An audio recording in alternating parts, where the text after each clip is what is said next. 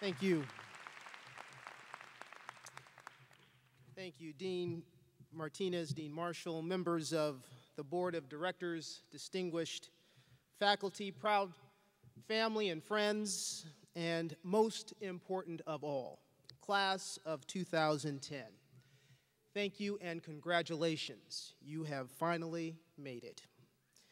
It is such an honor for me to share this moment of joy and celebration with you.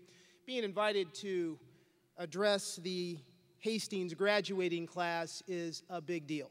I know this. And your invitation has even impressed other lawyers who are members of my family. And believe me, that is not easy if you know who they are. Because in addition to me, there are two other lawyers in my family. There's my wife, Maya Harris, who is the vice president of the Ford Foundation, but before that, led the ACLU right here in San Francisco.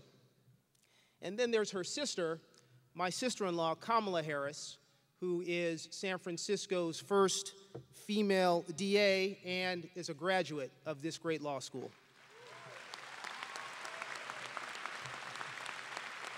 And actually, actually, it's two and a half other lawyers because our daughter Meena has just finished her first year in law school as well. And let me tell you, these three women, they are no joke. Each one is smart, talented, sharp witted, strong willed. These are no shrinking violets. So, in one family, I've got a civil liberties lawyer, a first year law student who never met an argument she didn't like, and San Francisco's top prosecutor. Can you even imagine what Thanksgiving dinner is like at my house? I mean, I've got the ACLU at one end of the table, the district attorney at the other end of the table. I got the first year law student somewhere in the mix, and guess who's in the middle? And my daughter Meena will be arguing her, her point eloquently because, as we all know, everything you needed to know about the law you learned in your first year of law school. And she'll turn to me and she'll say, Don't try to play it off. You know I'm right and Kamala will be arguing her point forcefully, persuasively, and she'll look at me and say, Now, brother in law, you used to be a prosecutor yourself. You agree with what I'm saying, right? And then there's my wife. Her argument is no less forceful, no less eloquent. She'll turn to me and she'll say, Honey,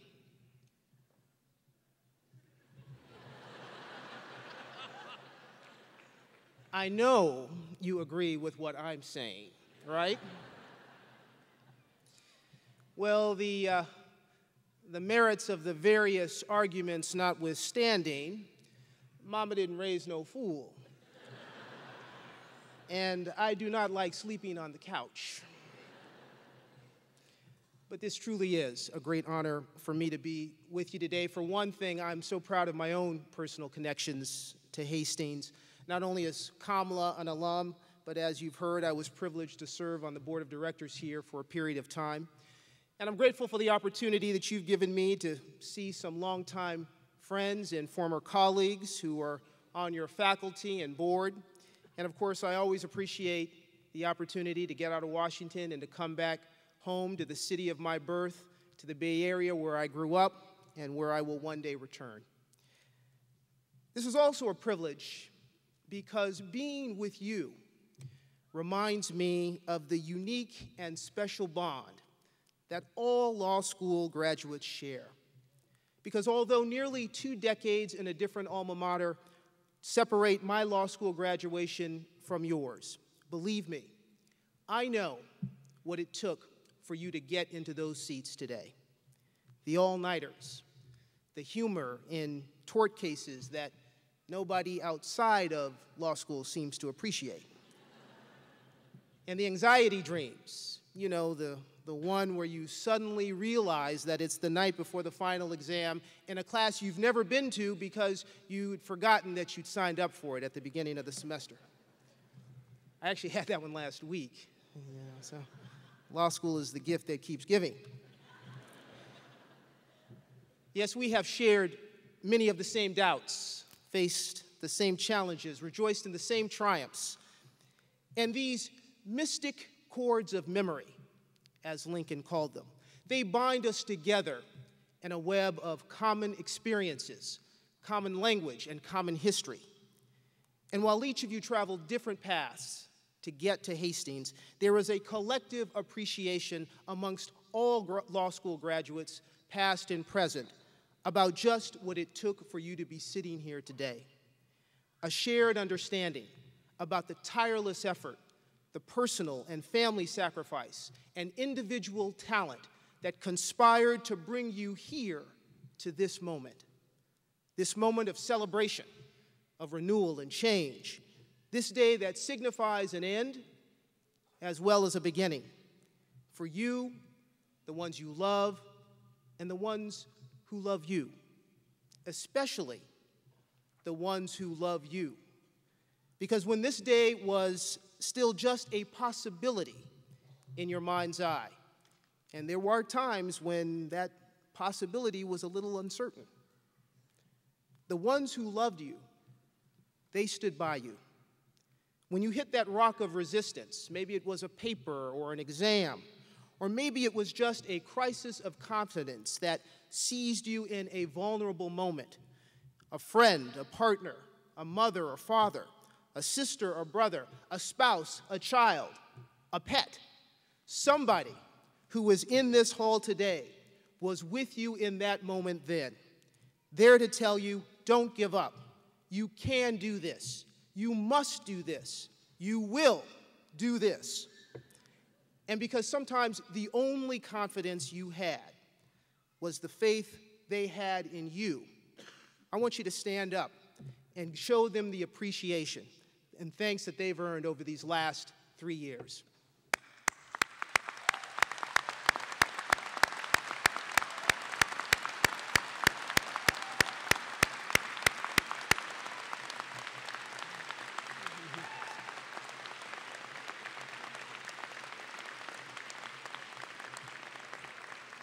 And family members, family members and friends, this class of 2010, they will continue to need your love and support for many years to come, I guarantee it.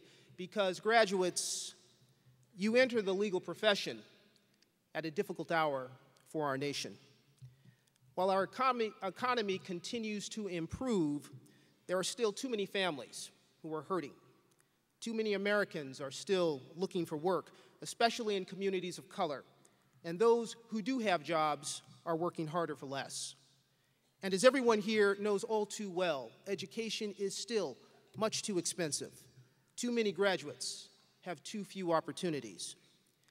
Faced with this season of uncertainty, many are tempted to put the blinders on and to turn within. And as rational as entirely understandable that response is given the challenges that each of us face in our own lives, I'm going to ask you to resist that temptation. For as you begin to navigate your paths as individuals trained in the law, whether you find that you end up practicing law or not, I want to challenge you to do three things. First, I want you to have the courage to serve others. Dr. King often spoke of the individual who had ascended to the heights of economic security, but who had the courage to descend to the depths of human need. At its best, the American spirit is exemplified by service, the commitment that we make to one another to stand together. And in difficult times, it is this quality that moves our nation forward in acts both good and great. When we act with one heart and one mind, as Jefferson said, we move forward as one people.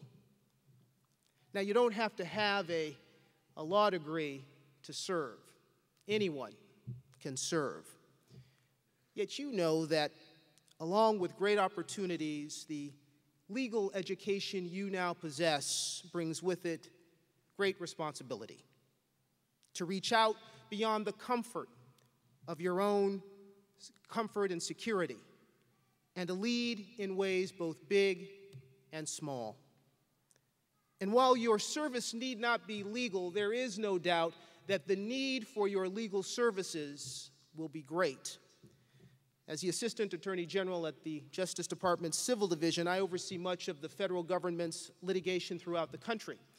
And as the United States' senior civil attorney, I'm reminded every day that in a civil justice system where you are five times more likely to prevail with legal representation than without it, access to justice requires access to quality legal services. Because when budgets tighten and courthouse doors close, the need for legal services among poor people, immigrant communities, and people of color, among working families and small businesses who are trying to make it, that need grows. Now, at the federal level, the Obama administration has taken some steps to close that justice gap. Last year, the president requested and Congress approved increased funding for something called the Legal Services Corporation. The organization created over 35 years ago to help poor families obtain access to the courts when they faced pressing civil legal matters. And at the Department of Justice, Attorney General Eric Holder has launched the Access to Justice Initiative, creating a permanent effort within the department to enhance the fairness and integrity of our legal system by improving access to counsel by the poor. And while these efforts to increase funding and change policy, while they are no doubt important, they are simply not enough. It will take the private bar, state and local governments, foundations, law schools, most of all, it will take you the class of 2010 to help us close this justice gap. No longer students of the law, you are now, as the Attorney General likes to say, stewards of the nation's justice system.